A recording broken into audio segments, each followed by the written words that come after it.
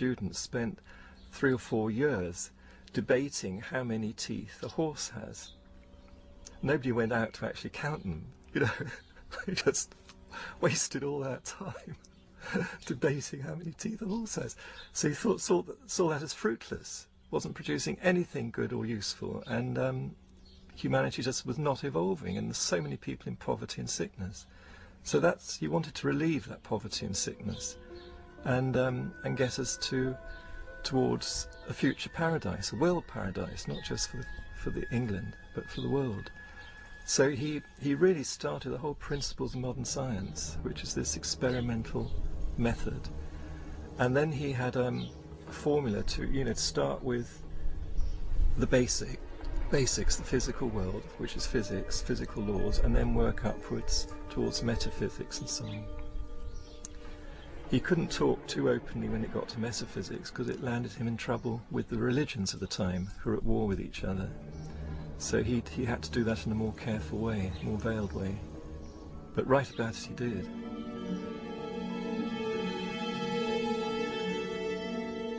Bacon's metaphysical ideas led him into teachings that would have been condemned by both the Catholic and Protestant churches of his day. He is said to have made contact with the spirit realm, and that upon hearing a heavenly voice, he was given his life's work. To protect himself, he kept his practices veiled within secret societies, in particular the ancient Brotherhood of the Rose and Cross. The Rosicrucians had long believed that powers and principalities from the spirit realm possess secret knowledge that might be used for the benefit of mankind. These and other teachings were to be kept hidden from those considered profane and especially from the church. The Rosicrucians had to be a secret society. Their object was to discover God's truths after him. But some of their methodology was bordering on witchcraft. For instance, the transmutation of base metals into gold, they claimed they could do it. Um, I don't think so.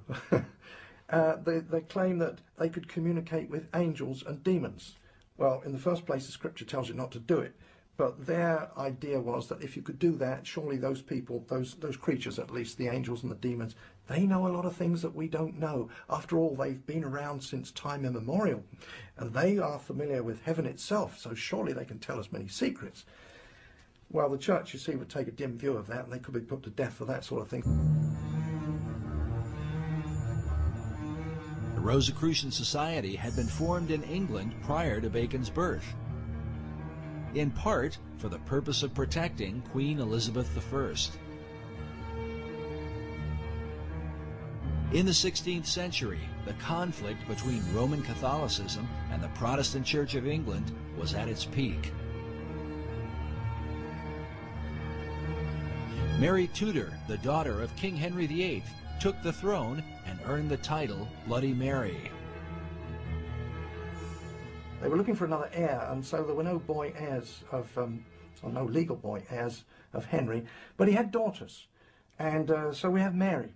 Mary was now 37, she was one of his daughters, and so she was installed as queen, and that was um, just after he died, so that would be in 58. And she was a Catholic, a dyed-in-the-wool Catholic, and she had actually married uh, Prince Philip II of Spain. Of course, he was a Catholic too. So the first thing that Mary did was to repeal those laws which permitted the Protestants to practice their religion. Repealed them and then forcefully put to death as many Christians that were of the Protestant faith as she could find. Within the uh, confines of the data that we have, she put to death 300, so there was 300 martyrs there that we know about in this in the short six-year reign that she had. No one was safe from Mary's wrath against the so-called Protestant heretics, not even her own sister. Elizabeth Tudor was also the daughter of King Henry VIII, with his second wife, Anne Boleyn, whom Henry had married after divorcing Catherine of Aragon, the mother of Queen Mary. When she was installed as queen, she put her sister Elizabeth I in jail because she was suspected of being a Protestant, so she went to the Tower of London. While imprisoned in the tower, Elizabeth formed a friendship with a mysterious member of the court, a mathematician and mystic named Dr. John Dee. He was known in the early Elizabethan days as, as the real wise man, the magus, um, and he was into a lot of esoteric study. Um, you know, he, he, he was certainly an initiate of the wisdom traditions. Dr. John Dee was one of the foremost geniuses of his day. John Dee was 34 years older than Francis Bacon. And um, John Dee was a mathematician, lived in London. He was a mathematician and astrologer to Queen Mary, Tudor. Uh, that's Bloody Mary. While Dee began in Mary's service, he soon fell out of favor because of his bizarre experiments, and some say his friendship with Elizabeth. In any case, Dee was imprisoned under suspicion of sorcery, an accusation that would follow him throughout his life, and one that seems not unfounded considering his system of magic is still practiced by many occultists to this day. One thing that he is most noted for today among occultists is that he and a fellow named Edward Kelly, who was a medium, uh, did magical invocations uh, related to the book of Enoch to produce an entire, what today is called the Enochian system of magic.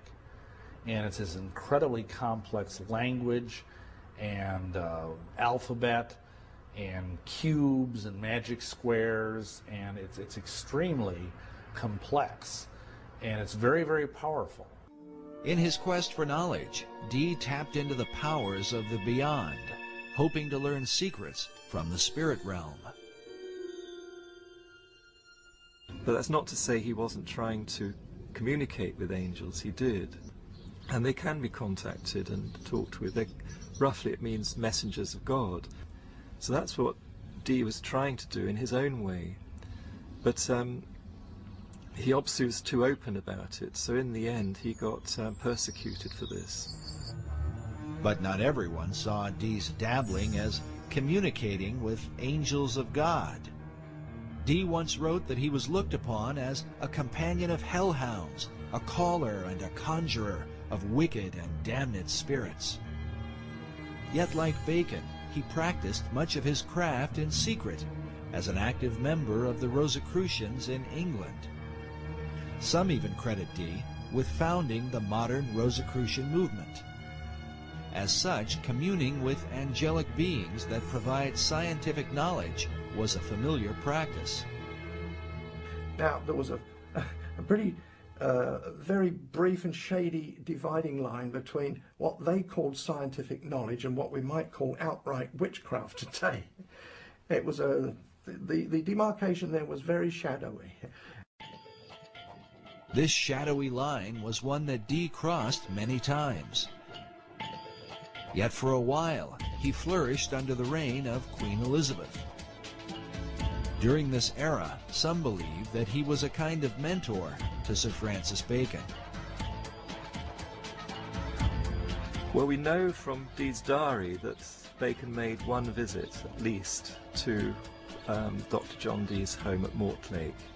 And when, when these visits were recorded, Dee was meaning people had come to talk with Dee and discuss esoteric matters with him and to use his library and so on like that. So we know that that's a historical record we have.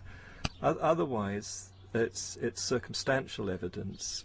Um, Bacon clearly knew Dr. John Dee because he was an important person in Queen Elizabeth's court, and Francis Bacon was a courtier. Perhaps the reason for the lack of records in Bacon's relationship with John Dee is that their work was done behind the veil of secret societies. There's always been these secret societies trying to promote learning and um, and raise the level of people's thought and culture to a kinder level and higher level. But mostly they've worked in secret because the church, most most of the different churches have been so um,